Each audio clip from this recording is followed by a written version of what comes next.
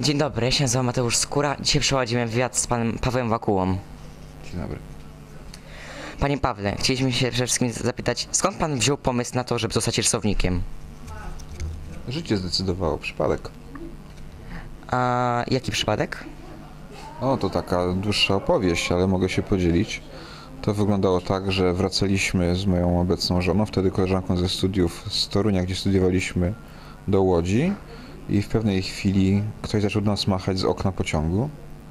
Okazało się, że to licealny, a potem także studencki jeszcze, bo również studiował w Toruniu jakiś czas, kolega e, mojej żony, e, Marek Morawski, e, który wówczas założył takie, takie studio Maro nieistniejące już, które zajmowało się łamaniem, składaniem gazet. To były takie, to był rok 90, można powiedzieć, polska praca wtedy raczkowała, ta, ta współczesna.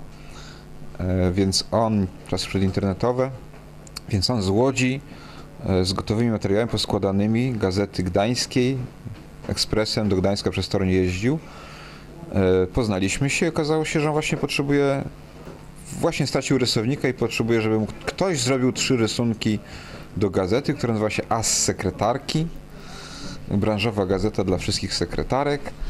I moja żona się tego podjęła, po czym postukała dłu- długopisem przez pół, pół dnia w kartkę papieru, stwierdziła, że jakieś to nie, nie bardzo wie jak to zrobić. Ja powiedziałem, że to jest z palcem w nosie takie rzeczy robię. I dwa dni stukałem tym ołówkiem w tę kartkę papieru, aż w końcu zbiłem te rysunki. To były moje pierwsze rysunki dla gazety As Sekretarki, która wtedy padła. Potem to jeszcze było, było kilka jeszcze innych gazet po drodze, ponieważ firma Maru się rozwinęła, miała tych tytułów kilkanaście. Przez te lata rysowałem dla takiego miesięcznika PC World Computer. Wciąż się ukazuje ta gazeta, też branżowa dla, dla fanów e, komputeryzacji, wtedy też raczkującej, więc przez kilka rysowałem wyłącznie komputery. Komputery latające, komputery, w których mieszkały krasnoludki, komputery na szczycie Monteverestu. Wszystko, co mi do głowy wpadło z komputerem. Miałem z tego parę złotych miesięcznie, ale nie myślałem, że to może być zawód, raczej forma do robienia. A potem przyszły inne gazety, bo się rozhulałem na, na rynku. Przyszedł Super Express, przyszła e, gazeta branżowa Wędkarz Polski, jakieś gazety lokalne, ale to wciąż nie był zawód, tylko raczej taka, taka forma aktywności, bo, bo równocześnie byłem nauczycielem, aż wreszcie trafiłem do tygodnika Angora. Był to już któryś z rzędu tytuł, ale tam już zostałem na dobre, jestem tam od 17 lat. Czy nie zdążyła pana ta praca znużyć? Każda praca, jak trwa 17 lat, nuży. E, Mentalnie trzeba być dosyć e, twardym, bo w dużej mierze rysuje się do kosza na śmieci. Przecież rysowników w tygodniku Angora jest siedmiu, a miejsce, w którym można wydrukać rysunek jest jedno, więc matematyka jest nieubłagana. Sześć rysunków ląduje w koszu. Prawda jest taka, że ląduje ich więcej, bo każdy z nas oferuje tygodnikowi dwie, trzy propozycje. Więc w dużej mierze rysuje się do kosza, do kosza, do kosza, do kosza. Dopiero co któryś strzał okazuje się publikacją. Nie chodzi tu o finanse, tylko taką zwyczajną potrzebę własnej wartości. Człowiek chce się czuć potrzebny, chce się zrealizować, więc jeżeli któryś tydzień z rzędu jego rysunki lądują w koszu, to się czuje mało komfortowo. W tym, w tym, w tym sensie ta praca może męczyć, w innym nie. A pan w stanie narysować rysunek od ręki, że na przykład e, ktoś panu, pana prosi, żeby coś narysować i pan musiałby to zrobić od teraz? Tyle tych rysunków zrobiłem, że prawie na każdą okazję gdzieś mam rysunek. Bo te okazje w gruncie rzeczy się wciąż powtarzają. Jeżeli nie identyczne, to podobne, prawda? Więc dosyć łatwo jest sięgnąć, jeżeli się nie ma zaników pamięci, do swojego prywatnego archiwum w głowie i przypomnieć sobie, coś było 10 czy 15 lat temu na dany temat. Powiem wam coś je- je- jeszcze ciekawego. Jeżeli jest temat zadany siedmiu rysownikom, to, to bywa tak, że każdy z nich niezależnie stworzy identyczny rysunek.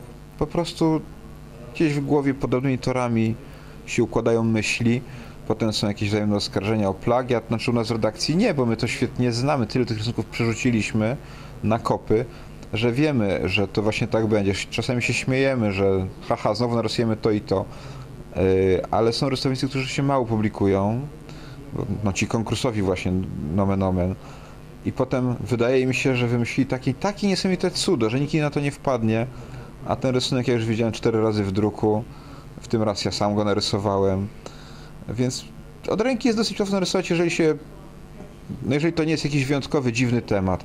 Ale bywa tak, że rzeczywiście można i godzinę myśleć, nic nie wymyśli się, albo się wymyśli coś kiepskiego. To, to zależy od pory dnia, od ciśnienia, od tego, czy cię boli, boli głowa. Podoba się panu rewal? Rewal? Ja do pierwszy raz przyje, przyje, przyjechałem zupełnie przypadkowo, jeszcze zanim tutaj nastały czasy obozu Potęga Prasy. Nie miałem pojęcia, że będę też zawodowo z nim związany, że co roku będę przyjeżdżać raz albo dwa razy na spotkania z młodzieżą, więc ten Rowol jest trochę jak drugi dom dla mnie. Ja wiem, gdzie tu jest wszystko, jaki kiosk, jaki, jaki sklep. E, Najbardziej mi się podoba Rewol po sezonie. Miałem tylko raz w życiu okazję go oglądać. To były lata temu, moje dzieci były wówczas małe.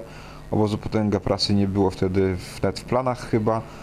I to było tak, że byłem 3 albo 4 dni w sierpniu. Tutaj był konkurs Various Monks grupy, więc hałas, gwar.